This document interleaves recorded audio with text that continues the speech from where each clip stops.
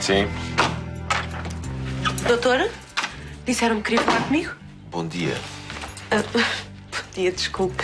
Eu nunca digo as coisas pela ordem certa. Mas isso não tem mal.